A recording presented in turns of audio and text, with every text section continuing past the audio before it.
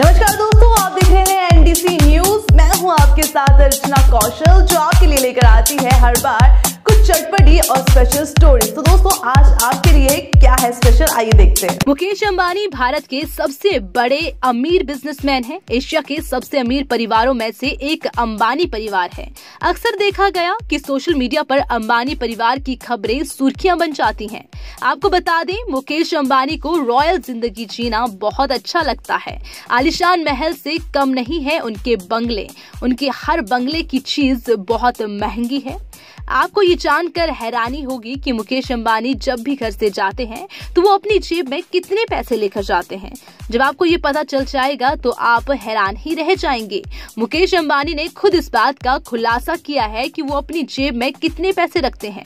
जेब में पैसे नहीं रखते हैं मुकेश अंबानी। आपको बता दें कि मुकेश अंबानी ने एचडी डीलरशिप समिट में इस बात का खुलासा किया था कि वो जेब में ना तो पैसे रखते हैं और ना ही कोई क्रेडिट कार्ड रखते हैं। मुकेश अंबानी ने बताया कि उनके सारे ही बिल्स उनके साथ जो लोग होते हैं, वही भरते हैं।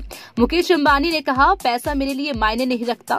पैसा तो बस महज एक संसाधन है जो कंपनी के लिए जोखिम लेने का काम करता है। इससे फ्लेक्सीबिलिटी भी मिलती है।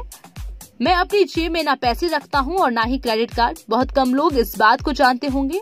बचपन से लेकर अब तक मैंने जेब में पैसे नहीं रखे हैं। पाँच रूपए मिलते थे। बच्चों को बांट देता था। मुकेश अम्बानी की पत्नी नीता अम्बानी ने अपने एक इंटरव्यू में कहा था कि जब मेरे बच्चे स्कूल जाते थे तो मैं उनको हर शुक्रवार पाँच रूपए ही देती थी, जिससे वो स्कूल कैंटीन में खाना खाते थे। एक समय की बात है, जब मेरा बेटा अनंत दौड़कर मेरे पास आया और बोला की दस रूपए चाहिए।